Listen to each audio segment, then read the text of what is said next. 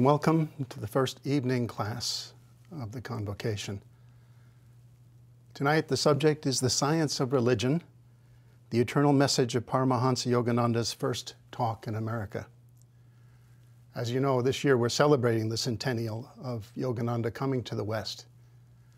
So it's a very important, very, um, the perfect really talk to start the week. The science of religion. Master, as we call him, Paramahansa Yogananda, he arrived in Boston on September 19th, so a few weeks from today about five weeks. And a little over two weeks after his arrival, he gave his first talk in America entitled The Science of Religion. So this, this year, we're celebrating those events and everything that led up to it. We published a new edition of The Science of Religion. It is the, the talk that our guru gave in Boston in 1920, and also has a, a, an interesting foreword in this edition. I wanted to read from it. The foreword says on September 19th, 1920, the city of Sparta, the first steamer sailing from India to America after the close of the First World War, arrived in Boston's Chelsea Harbor. Among its disembarking passengers was, as described by the Boston Globe, a picturesque figure who has come to attend a religious conference in Boston and later plans to make a lecturing tour through the country. Virtually unknown in America upon his arrival, Paramahansa Yogananda would later become known as the father of yoga in the West.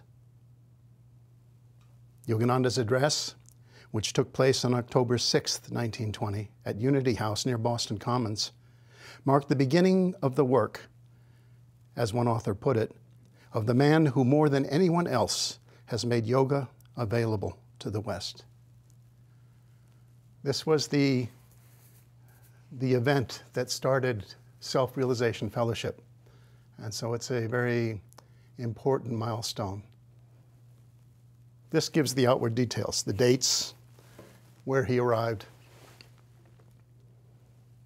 But our guru also gave a uh, very inspiring talk at one point when he was reminiscing about, about his arrival in America and those early years. And I wanted to read portions of it because it gives a different look at this arrival in Boston and the beginning of this work. He was giving a a talk at a Christmas banquet here in the same hall that we're standing in tonight. And he was just thinking about the early years, and this was what he said. He said it was only a short time after World War I had ended, and the first post war steamer to America, the city of Sparta, was soon to sail. I was told there was no chance of my securing accommodation. As for a passport, the officials were suspicious of everyone and almost no one was being allowed to leave the country. These were some of the difficulties in my way. Some, but not all of the difficulties. You know, our guru had such a hard time getting a passport, which took months and months, and he only had weeks before the steamer was to sail. Interestingly, our guru had a vision in Ranchi, which told him that he was going to the West, he was going to America, something that he had heard his entire life. His guru had told him this. Others had hinted at him going to the West, going to America. But he had this vision in Ranchi. And that afternoon, he said he packed up his things, went off to Calcutta because he knew he was going. Then the invitation came. Then the doors started opening. But he had difficulties. He goes on in this, this lecture that he was giving, or this, this talk he was giving. He said, I went to my guru, Swami Sri Yukteswar, in Serampore. He told me that all doors were open for my going to America and that it was now or never. So I knew I would go. But this is what I wanted to read to you because it shows, it shows what our, our the guru went through to bring these teachings. It wasn't, um, we can tend to think that these enlightened souls, they have such a, they know what's happening, They have the strength and the, the power to make things happen so they don't go through the trials or the, or the difficulties that many of us would experience. This is what he said. He said, On the eve of my departure, I went to Sri Yukteswarji to say goodbye. I wept as he bestowed his blessing on me. All the students from Ranchi School were at the dock the next day to see me off. It was a tearful farewell. Sri Yukteswarji had also come. Boarding the ship, the great Gyan Avatar sat like a sphinx in my cabin while I continued to shed tears over parting from him and going to a strange land. Finally, he spoke in his calm, reassuring way Everything will be all right. God is with you. I cannot begin to describe the feeling of aloneness that overwhelmed me when the steamer left the dock. Except for a few practice attempts, I hardly knew how to speak English, much less lecture in English. I was attired in a makeshift turban and a flannel robe of the traditional ochre color, worn by swamis in India. As was also customary among some swamis, I wore a beard, mustache, and long hair. Most of the passengers were American or European, and they eyed me cautiously. You can imagine what a sensation my appearance made among them. The voyage took nearly two months. On the 19th of September, we docked at Chelsea Harbor near Boston before dawn. As I watched the steamer nearing the landing and saw America for the first time, my thoughts were very sad.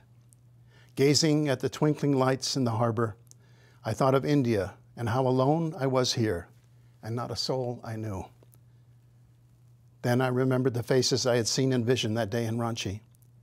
I have since met and recognized many of them, including some of you who are here today. Others are yet to come. But at that moment on the ship, I realized acutely the difficulty of my situation and felt extremely forlorn. This was the beginning of his starting a work and really forming the finding the disciples and forming the friendships and the connections that he needed to start his self-realization fellowship.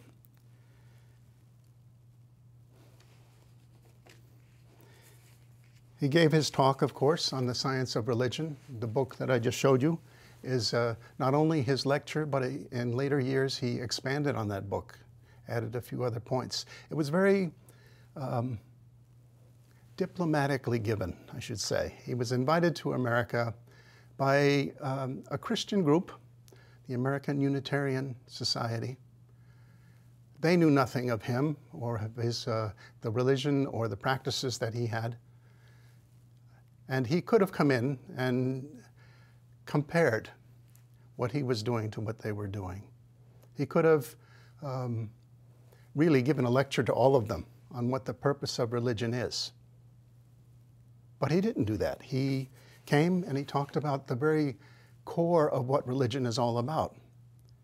He explained that in, in the world today, every person, no matter what they're doing, no matter what they're seeking, no matter what their desire, they're going for two goals. If you boil it all down to the basics, they want to avoid pain, they want to attain bliss.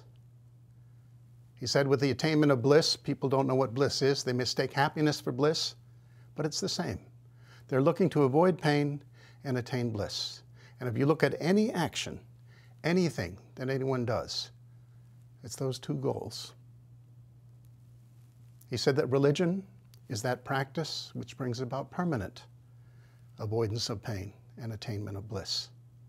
He talked in this way very logically, very um, compellingly. And with that, I think he really won over this, this group who was there and very different, who had been educated very differently from him.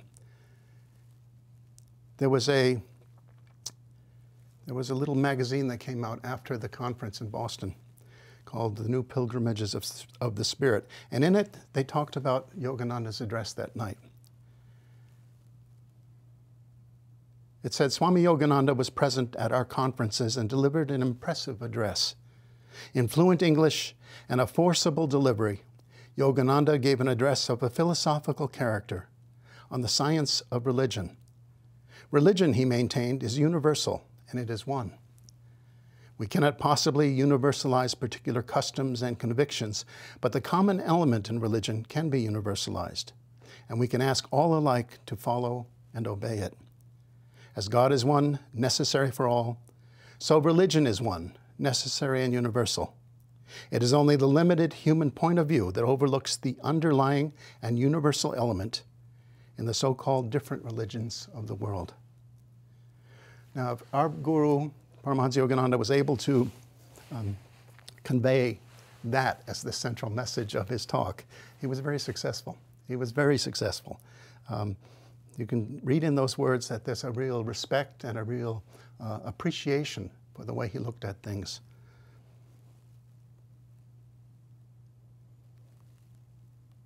He was very diplomatic, our guru. He knew perfectly how to behave in any situation. I remember a story I heard that Daya Mata told of, of our guru that one time he was invited to a, a, a meeting, a kind of a conference or a um, special meal that they were having, some group. Must have been here in Los Angeles because Daya Mata said that she, went, she and a few other disciples went along with the guru to, to this, uh, this uh, luncheon that they were holding. And Master was to say a few words afterwards. He was seated up on the head table, and uh, the disciples were seated somewhere else in the hall. And as the waiters came out and served the food, uh, Ma said that it was um, food that Master didn't eat. I mean, there was, a, it was, uh, there was meat on the plate, there were potatoes, there were some vegetables like peas. And when they served it and Daya Mata saw what was being served, she thought to herself, and she told us this, she said, oh, this will be interesting. Let's see how Master handles this. Master was vegetarian, of course. But she said that she was watching him on the head table, as were people in the, hall, in the hall. He said, Master, he would he took a little bit of potatoes and mixed some of the peas in with the potatoes and just kind of shuffled things around on the plate without, without actually eating the meat. And then when the waiters came out after some time and cleared away the plates, it looked like, yes, uh, the guru did not finish everything on the plate, but it looked like he had been eating everything. And she said, that was master. He never he never would think of saying, Excuse me, I'm a vegetarian here. Could you please give me something that I can eat? He would never inconvenience or embarrass a host. He just knew how to behave in every situation. Here, too, in Boston, you can just see that he, he came and he didn't talk about the differences between religions. He didn't talk about what he knew. He talked about something that could include everyone. He didn't divide them. He brought them in. This is what religion is about. This is what we're all doing. And you could just imagine that all of the delegates, all of the other people who were there listening, they must have been nodding their head and with an appreciation for the depth of thought and the, the clarity with which Master gave his exposition of the science of religion. You know, there's a, there's a picture of Yogananda with the delegates in Boston. There's the pictures in that book. And in that picture, or in that, um, the picture that we published, it had to be cropped down a bit because um, you wanted a good enough uh, size of the people, the faces, that you could see the Guru Yogananda in it. So it's cropped down. The original, uh, there are four delegates around the guru. He's kind of standing somewhat in the middle. But if you see the original photograph, it's nine delegates in a circle, a semicircle around Yogananda. Yogananda standing in the very middle, his hands are at his side. He's looking directly into the camera. There's a serene, uh, innocent, pure look on his face. He looks, uh, the, of all the people in the picture, you, your eyes just naturally go to him because he was the center of really what was going on there. And interestingly, uh, off to Yogananda's left, as you're looking at the picture, the right, there are two delegates who are standing on the side. They're not looking at the camera. They're looking to the middle of the group, and it appears to me that they're looking straight at Yogananda. And one of them has such a a wonderful expression on his face. It's like you could see him appreciative of this man that he's seeing, questioning maybe who is he? Learning a little bit more about, um, certainly respectfully, you know, being a part of that group. Those two are not in the, in the picture that we publish, but it shows a little bit of what the influence that Yogananda must have had on these people. I don't know that we have any, um, there are any other um, testimonials from that, from that particular conference, the different ones, the delegates who attended the, the convention there in Boston. But sometime in the 1920s, the guru met another minister, and he did write a testimonial about meeting Yogananda.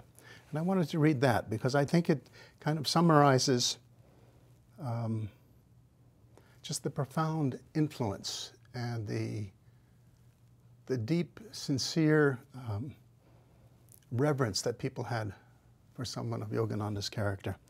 And this was a, a, a letter that Reverend Arthur Porter, he was a pastor in Salem Congregational Church in York, England. He wrote, In one week's training under Swami Yogananda, I have received more genuine education than in two universities and two seminaries in which I am a graduate. The course has been a revelation to me. I have learned the vital difference between interpretation and realization. Already within the week, I have experienced great physical, mental, and spiritual improvement. Powers within that have been dormant have been awakened.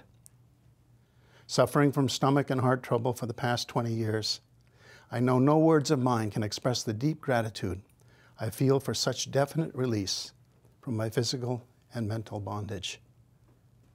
Last Sunday, I had the thrill of preaching with a new and strange power. Swami Yogananda will teach preachers how to preach with divine unction. I would that all my brother ministers could come under the gracious and Christ like influence of a teacher who has a living experience of the truth. These are the this is the these are the ways I think that are um, that Paramahansa Yogananda, or in those days Swami Yogananda, made an impression on people.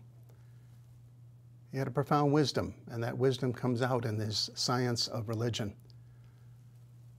an understanding of what how the universe works, what the purpose of life is, what the purpose of religion is, and how to get to that goal that everyone has.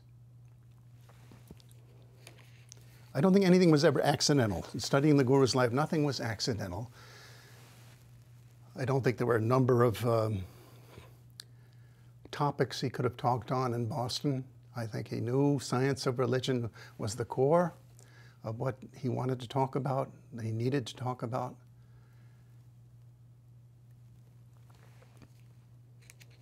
One time, Sri Daya Mata had said the very first and foremost principle of self realization fellowship was the first aims and ideals that we publish.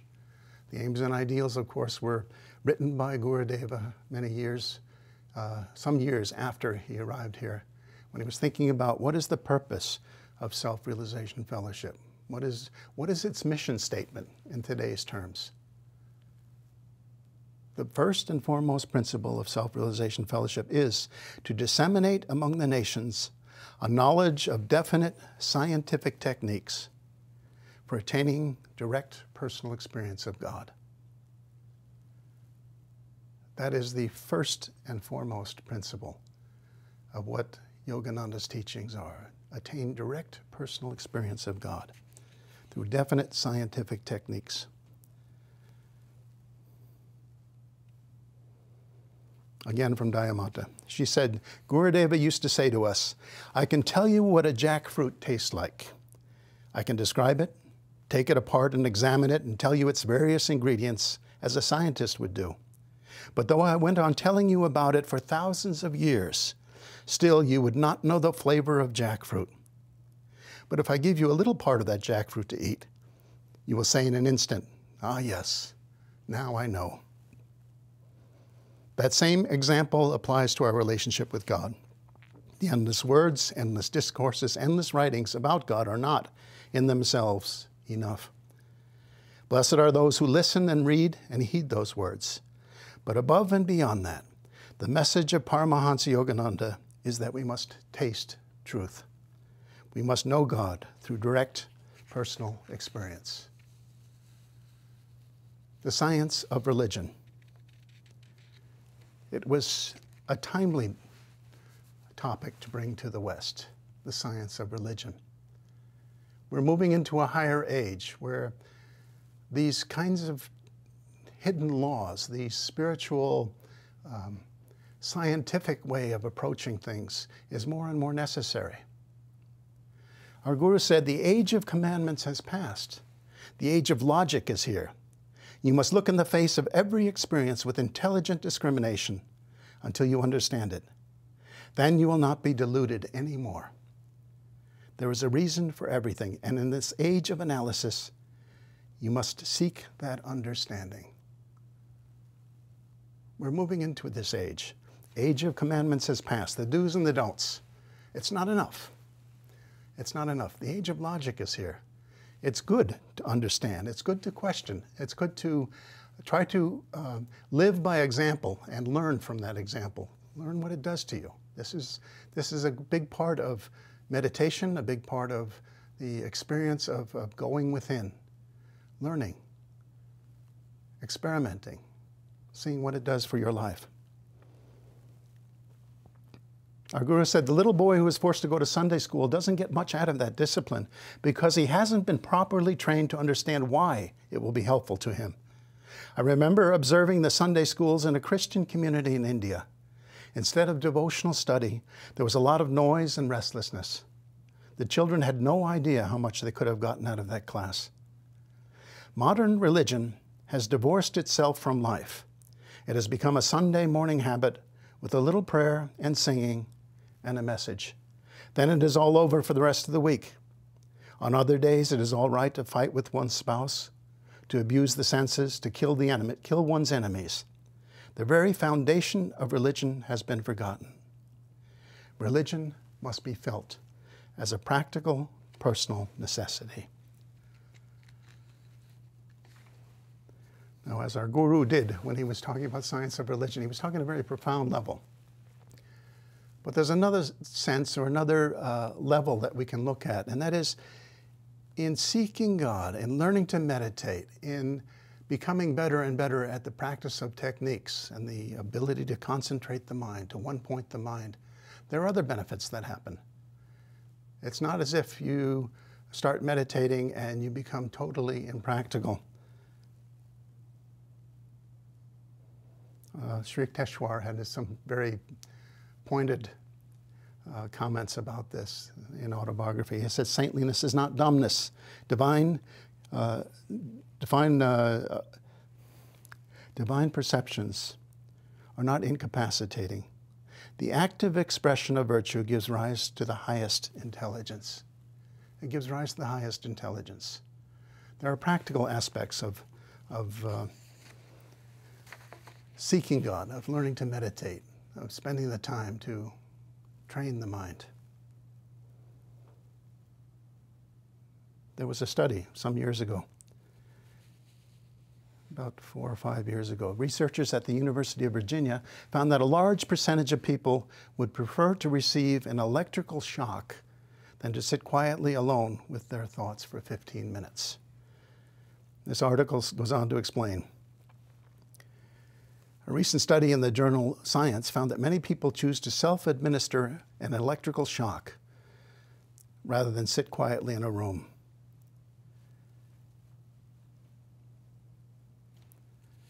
The researchers, uh, this article says that uh, our inability to, to, to be alone with our thoughts may not be the root of all of our problems, but one thing is certain, we're really bad at it, at least under the circumstances the researchers tested. The researchers brought people into their lab and told them they were going to be asked to sit alone in an empty room for 10 to 20 minutes. They took everything away from them, cell phones, watches, music devices, whatever. Next, they showed the participants some random pictures. Finally, they pointed out a nearby button, which, when pressed, would give them an electrical shock. They had each participant press the button, just for practice, and then asked them how unpleasant it was and whether they would pay money not to be shocked again. The participants said the shock was unpleasant, and yes, they would pay money to avoid being shocked again. The researchers then asked the test subjects to sit and entertain themselves with their own thoughts for 10 to 20 minutes. There were only two rules. They weren't allowed to get out of the chair, and they couldn't fall asleep. They encouraged the participants to enjoy themselves with pleasant thoughts. And oh, yes, if you'd like to receive an electric shock again, go ahead and press the button. The research team had debated this aspect of the study. It was ridiculous, some thought, to think that people would choose to shock themselves. They were astounded by the results. They already told us that they didn't like the shocks, said one uh, scientist. They'd already told us they'd pay not to receive a shock again.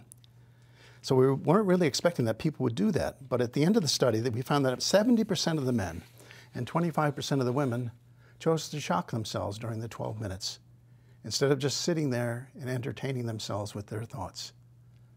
Why would some do this? someone do this? Why is it so hard to entertain ourselves with our thoughts that we're willing to turn to almost anything, it seems, to avoid it?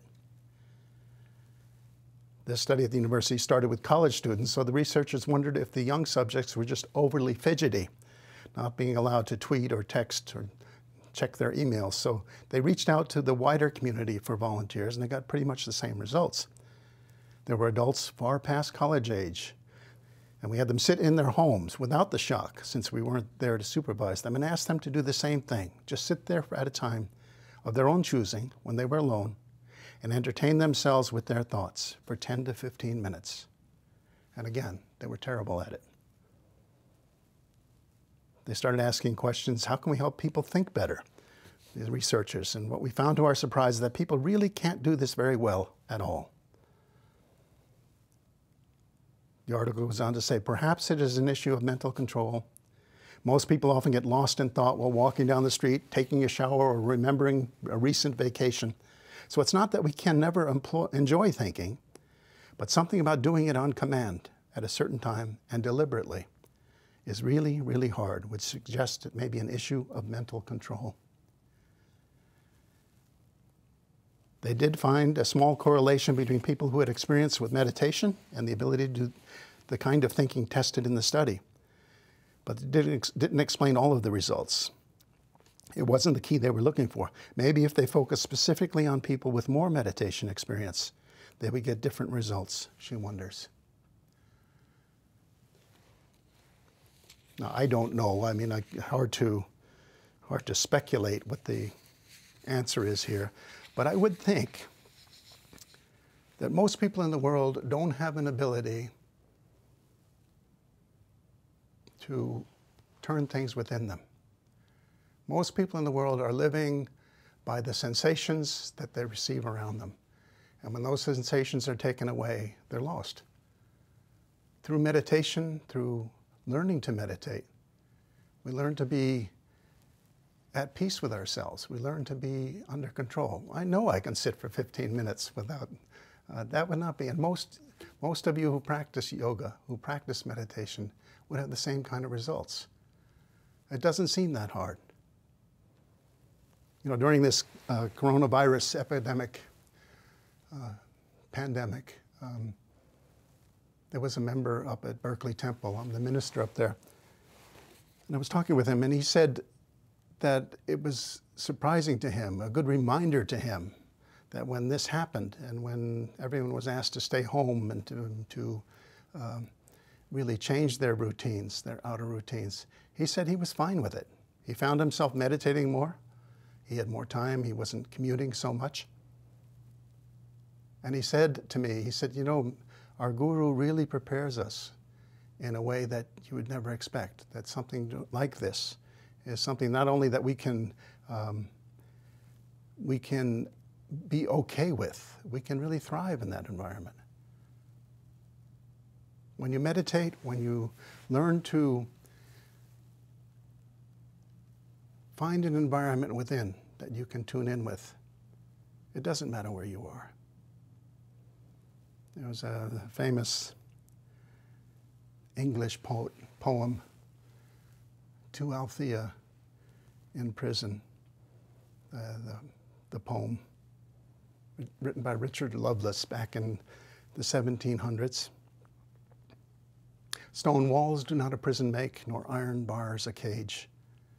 Minds innocent and quiet take that for a hermitage. If I have freedom in my love, and in my soul am free, angels alone that soar above enjoy such liberty. It doesn't matter the environment you find yourself in. If you have that ability to have a to turn things within, to have an inner life, which meditation teaches us to do. You avoid many of the difficulties that most people go through, such as these uh, people who were in this experiment.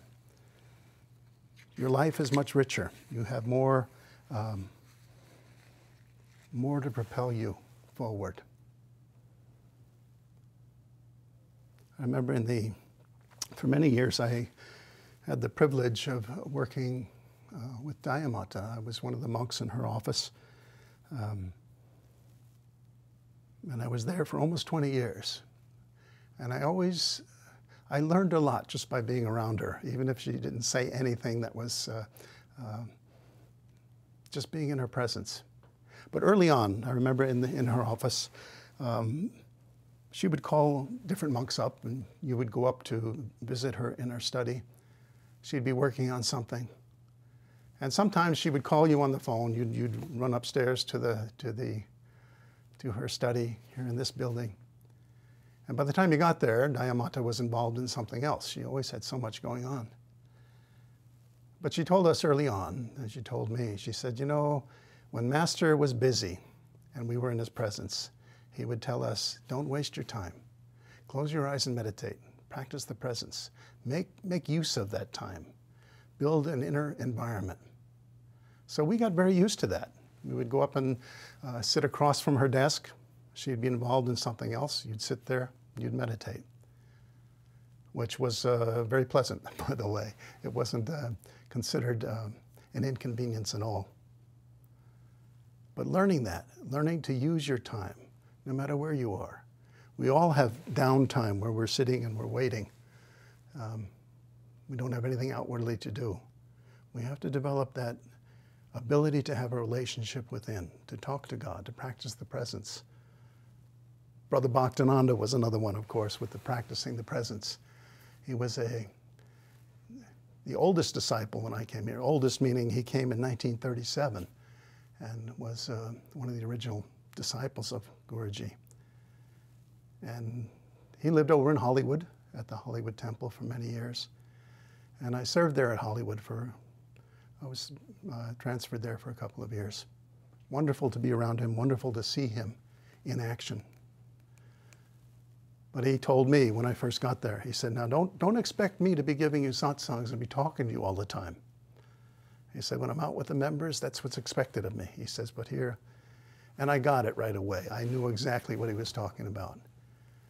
He, he didn't idly talk. He didn't um, spend his time just kind of um, being, uh, being outward. He always had something going on. You could see his mind was in, inward and withdrawn. And really, that, that's why he was such a great, great soul. He, was, uh, he had this ability to turn things within. He had a rich relationship with the divine. And uh, when he was in the ashram among the monks, he appreciated silence. He appreciated just respecting the fact that he was, uh, he had more important things to do than to just sit and talk. He was quite an example, as many of those uh, early disciples were. What is the science? You know, we're talking about the science of religion. Swami Sri Yukteswar, an autobiography of a yogi. He said, All creation is governed by law.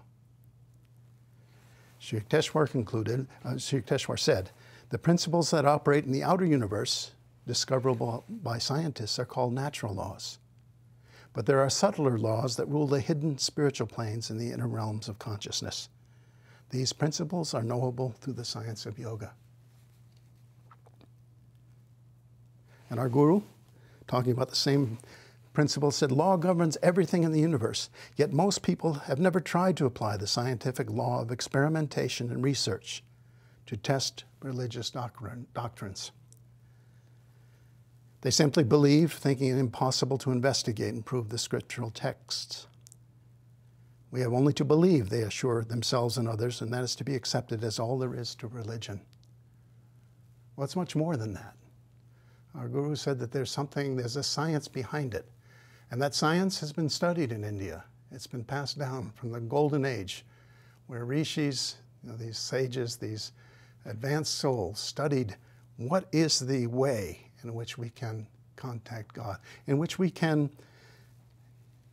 really uh, get to a place where we permanently avoid pain and we attain that bliss that the soul is seeking.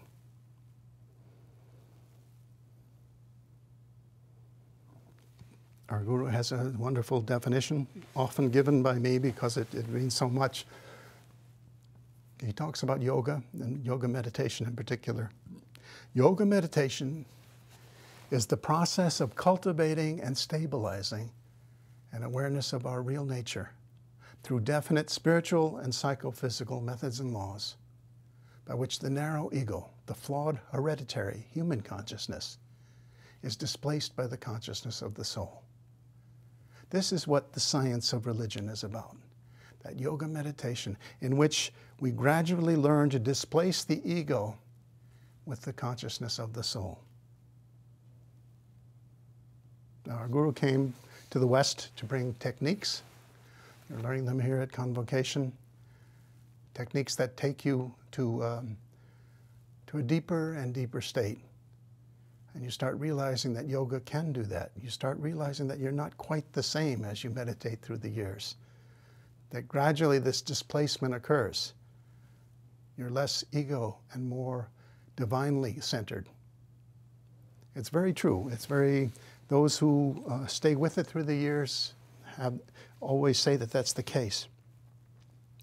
Master said yoga is the heart of all religions. It is the science of religion by which the true principles of religion can be proven with exact and known results. Yoga fulfills the purpose of religion, achievement of oneness or union with God, the ultimate necessity of every soul. It fulfills the purpose of religion, achievement of oneness or union with God. Now, is it necessary?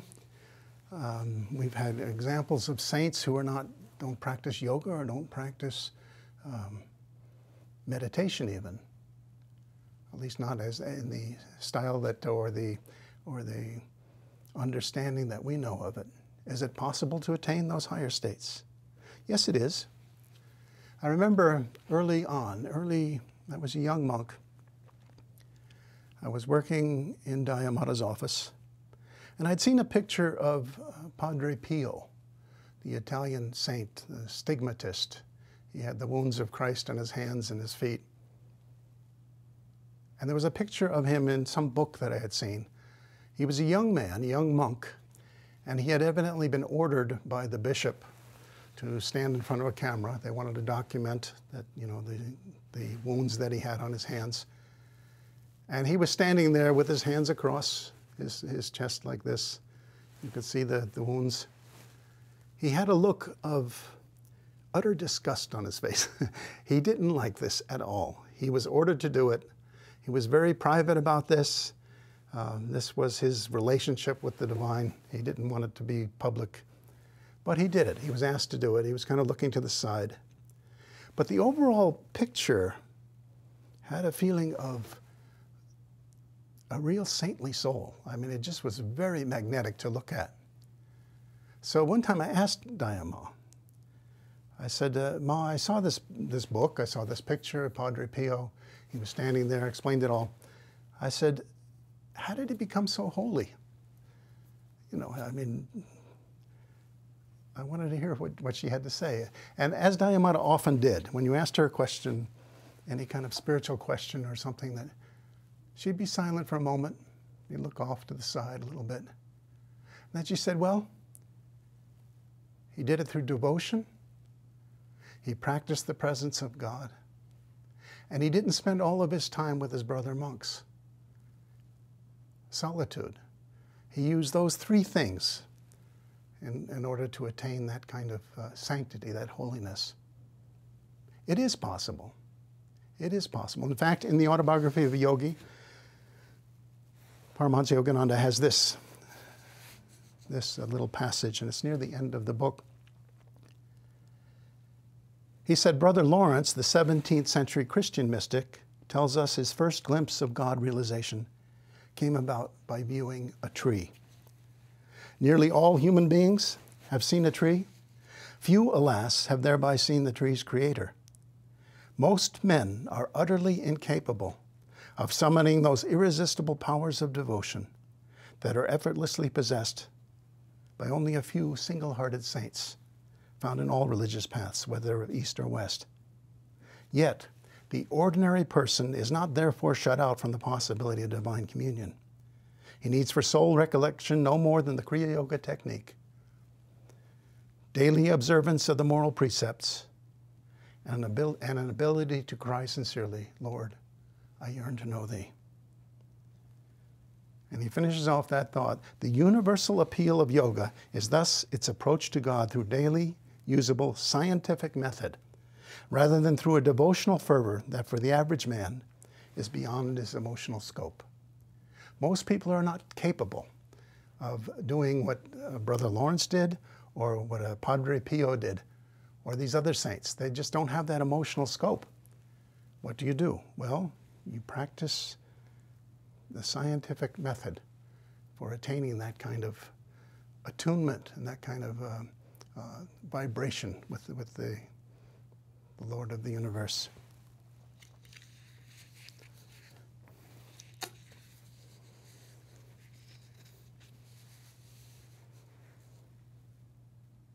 And those, those uh, paths, you know, our guru often said, they all do good. They all, um, if it's true path, if it's a true, um, sincere religion, they're all beneficial.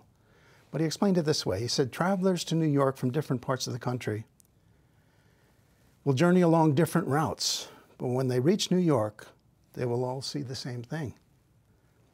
Every true religion leads to God, but some paths take longer time, while others are shorter. No matter what God ordained religion one follows, its beliefs will merge in one and the same common experience of God. Yoga is the unifying path that is followed by all religionists as they make the final approach to God. Yoga. Before one can reach God, there has to be a withdrawal of the life force and mind inward to rise through the spiritualizing centers of the spine to the supreme states of divine realization. The final union with God and the stages involved in this union are universal. That is yoga, the science of religion. Now, some of us would say, well, that's nice to know, um, but, uh, you know, I'm good. I don't need it. I, I think it's, uh, I'm okay. I don't really want to make that kind of effort. I'm not interested in becoming a saint, or I'm not interested. You know, our, our guru, Paramahansa Yogananda, he has a poem in Autobiography of a Yogi called Samadhi. He used to tell people, he used to um, ask people to memorize it because it, it, was, it spells out the goal that we're seeking and what it's like to attain this cosmic consciousness that is the goal of all people, all, all men, women around the world. What is the goal?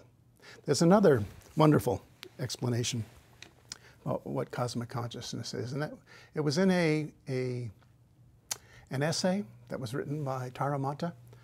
Tara Mata was one of the original disciples of Yogananda. She met him in 1924 in San Francisco. And she described a, you know, this consciousness of being caught up in, in this spiritual um,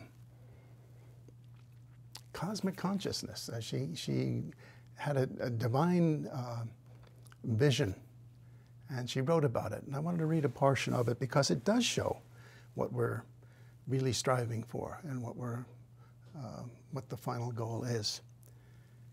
It was in a little article called "The Forerunner of a New Race," and the introduction said, "Not long after Tara Mata had met Paramahansa Yogananda in 1924, she wrote the following article about a man who was blessed with the experience of cosmic consciousness." Though she humbly avoided identification with the person mentioned, the experiences of Tara Mata describes were her own. So she talks in the third person about this man and what he went through. This is what she experienced. She said, This man, well read in the sacred scriptures of the world, knew that his intellectual knowledge was barren and stony. It did not feed the soul hunger within him. He did not wish merely to read about spiritual food, but to taste it. Under the even tenor of his days, there yawned a black abyss of despair. Despair that he was worthy of any direct contact with God, since no such experience was given to him. He finally came to doubt not God, but the possibility that he would ever be able to have more than an intellectual comprehension of him. This conviction struck at the roots of his life and made it seem a worthless and meaningless thing. Into this dark night of his soul came the light of self realization. After attending a few of the public lectures by Paramahansa Yogananda and before taking the class lessons, this man felt the heavy weight of despair lifting from his heart. Returning to his home one night from the last of the public lectures, he was conscious of a great peace within himself. He felt that in some deep, fundamental way, he had become a different person. An impulse urged him to look into the mirror of his room that he might see the new man. There he saw not his own face, but the face of Paramahansa Yogananda, whose lecture he had been attending that evening. The floodgates of joy broke in his soul. He was inundated with waves of indescribable ecstasy. Words that had been merely words to him before bliss, immortality, eternity, truth, divine love became, in the twinkling of an eye, the core of his being, the essence of his life, the only possible reality. He knew not with his mind alone, but with his heart and soul, with every cell and molecule of his body, the sublime splendor and joy of this discovery. The sublime splendor and joy of this discovery was so vast that he felt the centuries, millenniums, countless eons of suffering were as nothing, as less than nothing, if by such means this bliss could be attained. During the weeks of his illumination, he felt no need for food or sleep, but he conformed to his outward life to the pattern of his household and ate and slept when his family did. All food seemed pure spirit to him, and in sleep he was pillowed on the everlasting arms, awakening to a joy past all words and past all powers of description. He had previously suffered from a disease. Now his body was purged of all sickness. His family and friends were aware of great changes in his appearance and manner. His face shone with a radiant light. His eyes were pools of joy. Strangers spoke to him, irresistibly drawn by a strange sympathy. On the streetcar, children would come over to sit on his lap, asking him to visit them. The whole universe was to him bathed in a sea of love, and he said to himself many times, Now, at last, I know what love is. This is God's love, shaming the most noblest of human affection.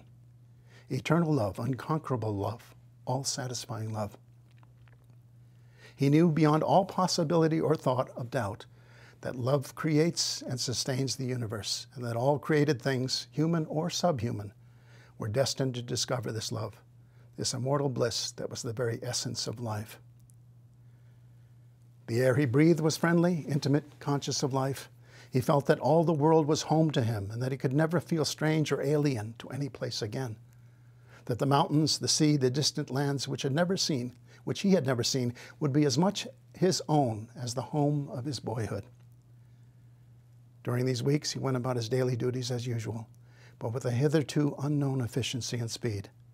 Typed papers flew off his machine, completed without error, in a fourth of his customary time. Fatigue was unknown to him.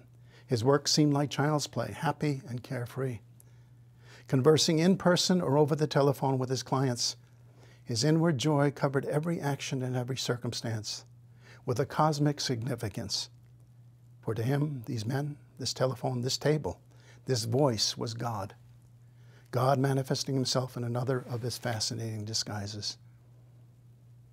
In the midst of his work, he would suddenly be freshly overwhelmed by the goodness of God, who had given him this incredible, unspeakable happiness. His breath would stop completely at such times. The awe which he felt would be accompanied by an absolute stillness within and without.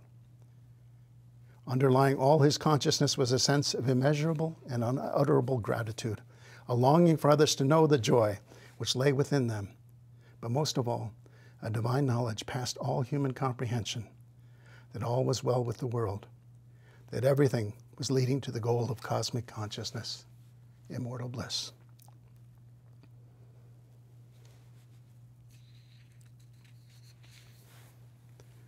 That sounds like something we all want. That's what we're seeking. That consciousness in which we feel God's presence within and without, and in which we can help the world that so desperately needs uh, that vibration in it. Our Guru said that those who go deep in meditation, those who um, practice and, and learn this, this art of yoga, they help the world. They help the world in a profound way. And that really is what uh, each one of us can and, and must do.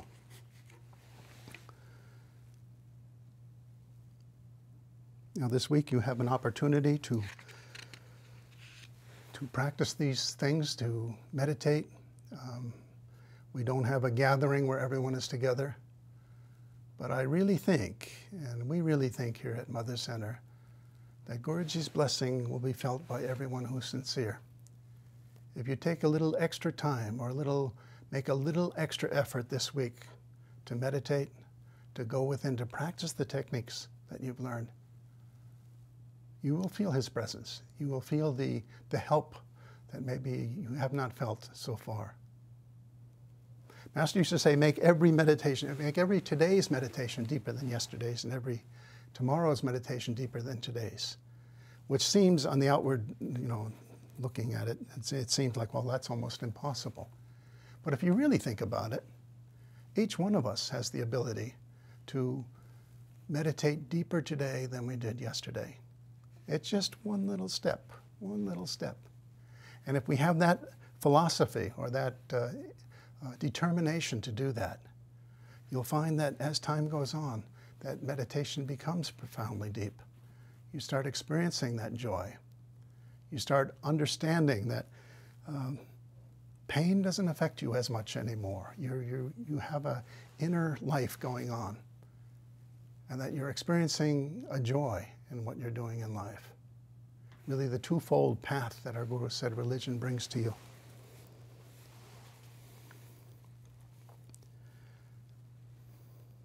Our Guru said, The science of religion is to make the effort in meditation until God becomes real to you, until you know that He alone is real.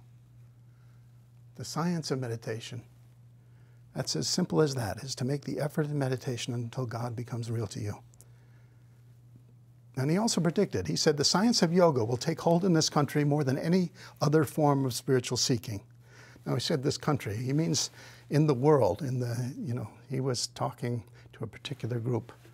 But it will take hold in this country more than any other form of spiritual seeking. The entire trend will be away from churches where people go only to hear a sermon and into schools and quiet places that, where they will go to meditate and really find God. This is what the future brings, and we are forerunners of this. You know, we started with uh, sort of the history going back to 1920, 100 years ago today, 100 years ago this year, to, you know, relive some of the things our guru went through in Boston. Before he got there, I came across this interesting talk that Ralph Waldo Emerson gave. Interestingly, uh, Ralph Waldo Emerson, he was a Unitarian minister. He, he sort of went away from his teaching and his, his uh,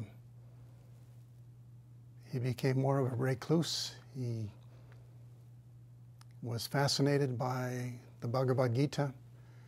He yearned for something deeper. But in 1838, he gave a very famous talk, a divinity school address. And it was only about five miles, or let's say about eight kilometers away from where um, Yogananda gave his lecture in 1920. Let me read you this just short thing of what he was saying. He was, he was talking to um, the graduating class at the divinity school, and he was telling them, We need more. We need more. Uh, you can feel the, the um, just the, the heart sincerity that he had. And it says this, this address was delivered before the senior class of the Harvard Divinity School on Sunday evening, July 5th, July 15th, 1838. Emerson had been invited to give it not by the officers of the school, but by the senior class. He was a well known lecturer, and they wanted, wanted him to come and talk to them. What Emerson said was so objectionable to many of the clergymen that the officers of the school publicly disclaimed responsibility for it.